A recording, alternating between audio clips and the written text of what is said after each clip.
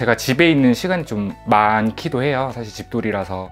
어, 그래서 좀 휴식할 수 있는 공간이면 좋지 않을까라는 생각을 많이 하게 되더라고요.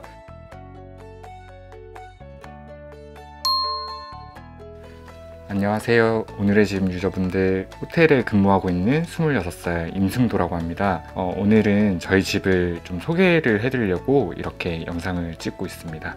제가 집에 있는 시간이 좀 많기도 해요. 사실 집돌이라서 어, 그래서 좀 휴식할 수 있는 공간이면 좋지 않을까라는 생각을 많이 하게 되더라고요. 또 휴식하면 동남아잖아요. 그래서 어, 방콕 스타일을 좀 많이 맞춘 것 같아요. 그래서 우선 제가 전신 거울은 어, 이번에 집을 새로 이사를 오면서 같이 구매를 했던 건데 음, 제가 호텔에서 일을 하다 보니까 정장을 좀 많이 입는 일을 해요. 그래서 아침에 출근할 때 옷 매무새를 다듬거나 setup을 한 후에 한 번 더 recheck 할 수 있도록 구매를 같이 한 제품이기도 해요. 음, 그리고 이 그물망 의자도 비스듬하게 눕게 되는 그렇게 된 의자라서 제가 퇴근하고 나면은 여기서 TV를 보다가 많이 졸고 있습니다.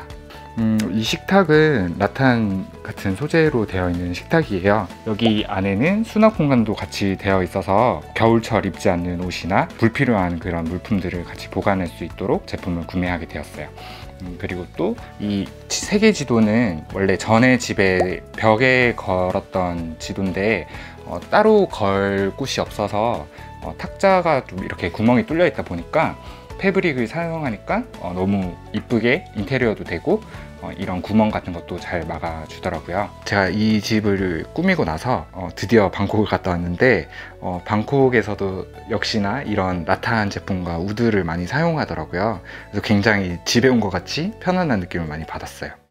그다음에 제가 제일 좋아하는 부분이 저희 식물들인데요. 어, 식물들이 좀 많긴 하죠. 키우면서 좀 더 부지런해진 것 같긴 해요. 이렇게 식물들이 많으니까 움직이기 싫어도 이제 억지로라도 일어나서 좀 관리를 해야 되는 부분들이 있어서 좀 더 부지런하게 만들지 않았나 그런 생각을 하게 돼요. 혼자 살면은 좀 적막한 그런 분위기가 많이 나는데 식물들이 있음으로써 음, 좀더 따뜻한 분위기가 많이 나더라고요. 생명체가 같이 사는 느낌이랄까?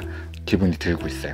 저기 보이는 강아지 패브릭은 사실 어, 이사 오기 전에 제가 선반 가리개로 제작한 건데 저희 본가에 지금 어, 있는 어, 강아지예요. 이름이 호드라서 같이 패브릭에 호드라는 이름도 같이 해놨고 여러 개들 있으면 이제 물 먹는 순서도 제일 마지막으로 먹기도 하고 얼굴 자체도 너무 착하게 생겨서 어, 진짜 애교가 너무 많은 편이라서 항상 좀 생각이 많이 나요. 새끼 때부터 키우던 강아지라서 음, 지금 이렇게 창문 옆에 보면 사진도 있는데 이렇게 아기 때부터 지금 컸을 때까지 같이 키우는 강아지예요. 그래서 생각이 많이 나가지고 이케아를 가니까 리트리버 모양의 이렇게 강아지도 같이 팔더라고요. 그래서 컸을 때 모양이랑 이제 새끼 때 모양을 좀 기억하기 위해서 어, 두 가지를 사게 되었어요.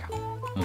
위에 프레임을 설치해서 이제 좀 공간 분리를 할 수 있도록 만들어 놨고 어, 위에 이제 선반 같은 거를 구매를 해서 어 이제 쓰지 않는 케이스라던가 이제 조금 잡동사니 같은 거를 보관할 수 있더라고요. 이 프레임 자체가 좀 공간 활용도가 좀 많이 높은 것 같아서 이 전에 살던 집에서부터 어 같이 사용하고 있는 프레임이에요. 어, 사실 혼자 사는 분들도 공감을 하겠지만 집에 오면은 항상 어, 불이 꺼져 있어서 집에 들어올 때 적막하다고 해야 되나? 좀 혼자 사는 느낌이 좀 많이 들었어요. 그래서 그런 부분을 좀 없애기 위해서 조명들을 다 스마트 전구로 바꿨거든요. 지금 이렇게 어플을 보면은 들어오기 전에 항상 음, 바로 켜지고 어, 나갈 때도 따로 불을 끄거나 그렇게 신경 쓸 필요 없이 나가서도 마찬가지로 다 모두 제어가 가능한 제품이라서 어, 항상 편하게 쓰고 있습니다 그래서 집에 들어오기 전에 항상 스마트 전구를 켜고 들어오니까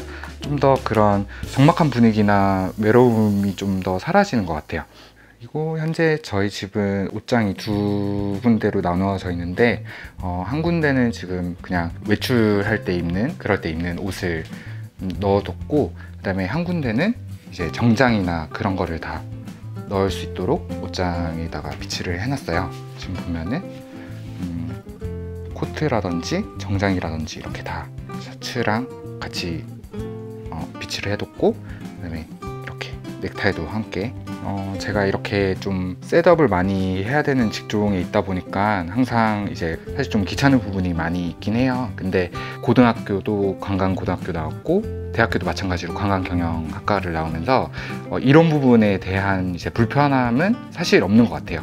이 관광이라는 곳을 가게 된 이유 자체가 제가 어, 초등학교 때 처음 이제 외국을 나가게 됐는데 음, 그때 좀 문화 충격이라고 해야 되나? 어, 그 사람들이 다양하게 살고 있구나. 또 어, 이렇게 다양한 사람들과 함께 지내고 있구나라는 거를 처음 느끼게 돼서 어, 관광 쪽에 관심을 두고 현재도 이제 어, 그런 직종에서 일하고 있습니다. 음, 화장실도 최대한 깔끔하게 사용을 하려고 하고 있는데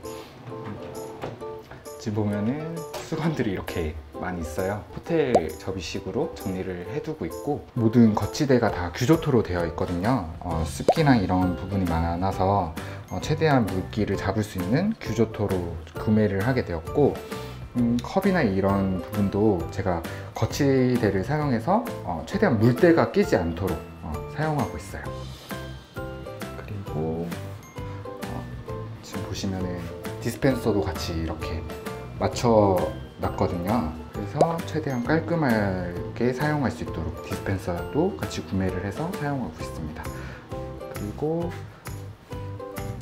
요즘에는 청소 용품도 이렇게 세트로 많이 나오더라고요. 그래서 한 곳에 어, 딱 정리할 수 있도록 이런 식으로 어, 제품을 구매를 하게 되었습니다.